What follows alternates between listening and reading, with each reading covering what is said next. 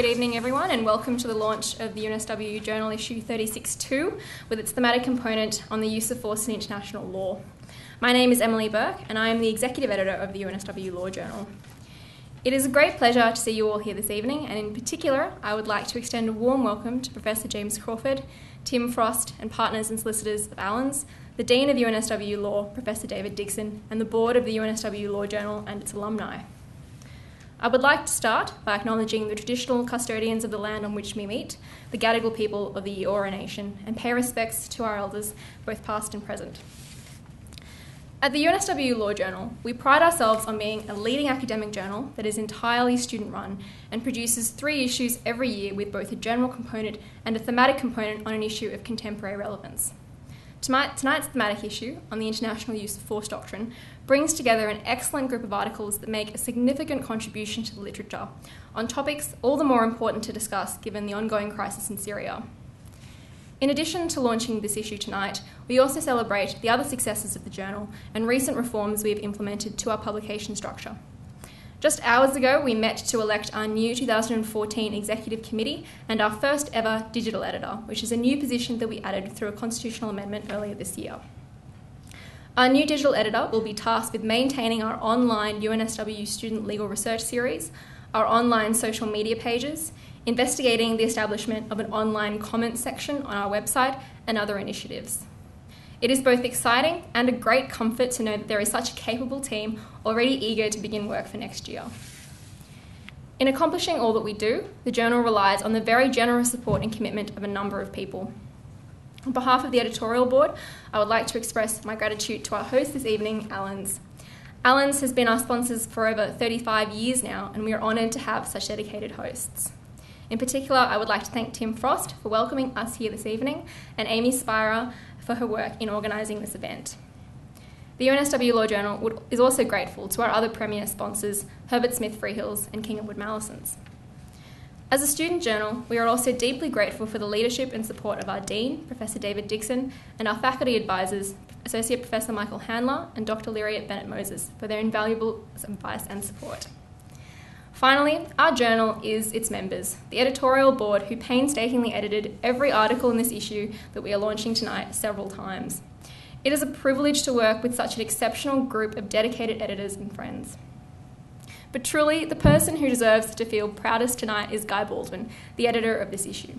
This is the fourth year Guy has been on the journal, and he has worked tirelessly over the past eight months to bring both components of this issue to completion. Unfortunately, Guy can't rest too easy tonight as he was recently elected to the 2014 executive editor for next year. Congratulations, Guy, on a remarkable job and all the best for next year. And with that, I would like to introduce Tim Frost, partner at Allens. Tim graduated UNSW in 1991 and has been a partner at Allen since 2001, specialising in all aspects of workplace relations law. Thanks, Emily, and thanks everyone for coming in tonight. I'm really pleased to be able to um, welcome you to Allens this evening for the launch of issue 36.2 of the UNSW Law Journal. I'm particularly pleased to be able to play this role because after graduating from UNSW with my commerce and law degrees back in 1991, I've this year gone back to school and started um, a new course, the MBA at um, the AGSM. Um, at my current rate of progress, I might get an MBA sometime in 2018 or 2019, but uh, I'm doing the best I can. I must say, I'd forgotten that sick in the gut feeling that you get when you sit down on a chair in an exam hall and somebody says to you, You've got 15 minutes to read the paper and three hours to demonstrate that you know what you're talking about in this subject area. Our relationship here at Allens with the university is really important to us. Many of us have studied at the university and many of the people who come here have done their training uh, at UNSW. We're in the process right now of recruiting next year's intake of summer clerks, a process that I'm happy to be a part of, and our principal, and which is our principal recruitment exercise for the year. And I'm pleased to report that there are many UNSW students participating in that process, and the number and calibre of the UNSW candidates is fantastic. Um, it's fantastic to see a good turnout for this launch this evening. As usual, the Law Journal doesn't disappoint, uh, with a range of topics uh, as diverse as something that I'm quite comfortable with uh, a review of equal pay under the Fair Work Act by Fiona MacDonald and Sarah Charlesworth, um, and then extending to a range of issues uh, in the theme of the use of force in international law. Um, the scale of the issues addressed really is enormous. Topics including the responsibility to protect, piercing the shield of sovereignty, the provision of arms and non lethal assistance to government and opposition forces, and what sounds to me to be the fantastically named article by James Fry, and I'll read it, I won't ever remember it. The XM25 Individual Semi Automatic Airburst Weapons System and International Law. I'll admit that some areas of law sound a little bit dry, but that one sounds like it's got that little extra something. So it's really great to be associated with the launch of the journal. Um, enough from me. Please let me extend to you a very warm welcome here to Allens this evening and hand over to Guy Baldwin to introduce the uh, 36.2 edition.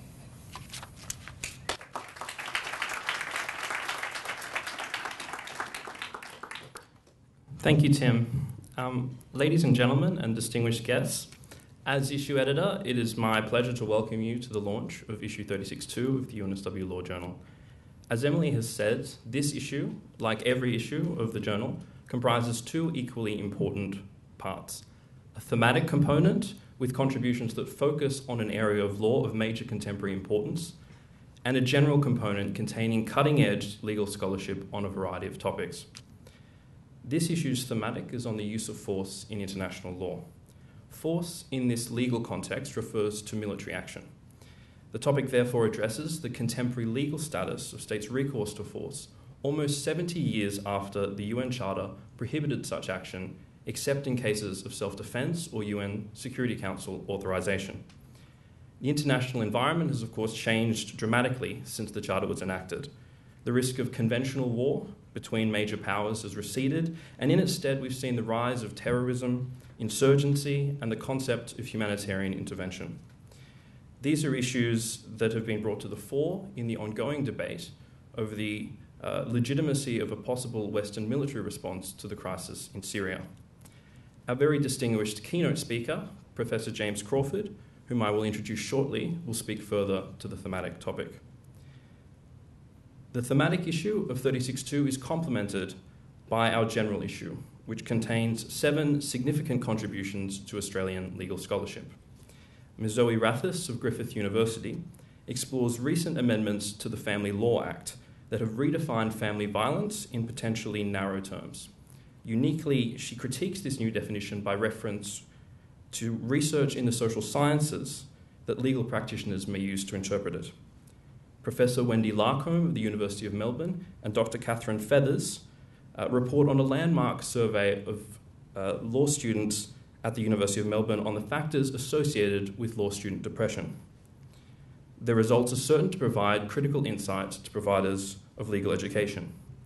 Mr. Charles Noonan, a law graduate at King and Wood Mallesons, studies the use of no invalidity clauses that purport to place government decisions beyond review by the courts. He assesses their compatibility with Section 75.5 of the Constitution in the light of their serious potential to undermine the rule of law. Professor Fiona Burns of the University of Sydney addresses the current state of intestacy law. She compares proposals for reform between several Australian jurisdictions and England, particularly examining whether the law unduly favours the spouse rather than the children of the deceased. Professors Andrew Lynch and George Williams at the University of New South Wales contribute the latest instalment in their well known yearly series on constitutional law statistics. This year, they examine the patterns of judicial decision making evident in the 2012 High Court term. Dr. Julia Quilter and Professor Luke McNamara of the University of Wollongong examined the crimes of offensive conduct and offensive language under the Summary Offences Act. Despite very frequent prosecution in local courts, these offences remain troublingly undefined in New South Wales case law. Finally, Ms. Fiona McDonald and Professor Sarah Charlesworth of the University of South Australia examine the ever important issue of gender pay equality. They focus on the reforms introduced in the Fair Work Act and their recent application by Fair Work Australia. As this list I've just provided might suggest, a project of this kind draws on the work of a large number of individuals. I would now like to acknowledge some of these individuals.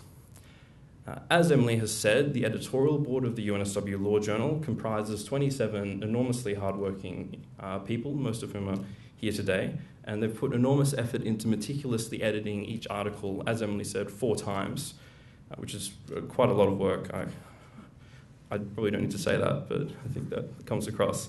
Uh, my colleagues on the executive committee uh, have provided really remarkable support and, and consistent wisdom. I have to thank in particular Emily Burke, who's done an outstanding job this year. Uh, the anonymous peer reviewers, although by definition I can't name them, uh, the rigorous academic assessment of the articles submitted to the journal uh, is the basis on which we're able to choose outstanding ones to publish. Allens for its ongoing generous support of the journal and its hosting of this launch event, uh, Dr. Lucas Lixinski and Dr. Chris Michaelsen from the UNSW Law faculty, who put up with my initially very ignorant questions about the use of force topic that I had in mind and gradually turned them into more and more reasonable sounding ones. Um, and I lastly acknowledge Professor David Dixon, uh, the Dean of the UNSW Law School, for his greatly valued support and encouragement of the journal over the years. Uh, we're also very thankful and fortunate to have with us today Professor James Crawford, uh, who is our keynote speaker and the author of the foreword for the thematic component. Professor Crawford is the Whewell Professor of International Law at the University of Cambridge and Research Professor of Law at La Trobe University. Among a number of distinguished appointments, Professor Crawford was the first Australian member of the United Nations International Law Commission. Uh, there, he was responsible for the ILC's work on the International Criminal Court and the second reading of the ILC's Articles on State Responsibility, very famous uh, work. He has also served as the Dean of the Faculty of Law at the University of Sydney and twice as the Director of the Lauterpacht Centre of International Law at the University of Cambridge. In addition to his renowned scholarship on statehood, collective rights, investment law, and international responsibility, Professor Crawford has had a remarkable professional career. He has been engaged as counsel in 23 cases before the International Court of Justice. He has also appeared before a wide range of other international courts and tribunals, including the International Tribunal for the Law of the Sea and the dispute settlement body of the World Trade Organization. In October 2012, Professor Crawford was nominated for election as a judge of the International Court of Justice with the support of the Australian Government, and elections are due to be held for that role at the United Nations in late 2014. Uh, on that note, it is, is my very great pleasure and privilege to introduce Professor Crawford, who will deliver his keynote address.